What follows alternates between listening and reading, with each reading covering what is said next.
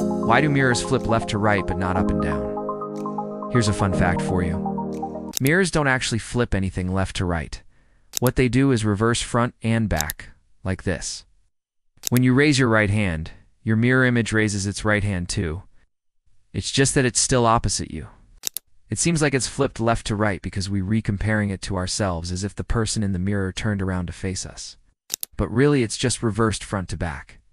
Up and down don't flip because gravity stays the same. They don't rotate vertically. So what's really happening is that our brains are interpreting the reflection as being left to right flipped, when it's really just front to back. So remember, mirrors don't flip left to right. That's just how we think about reflections.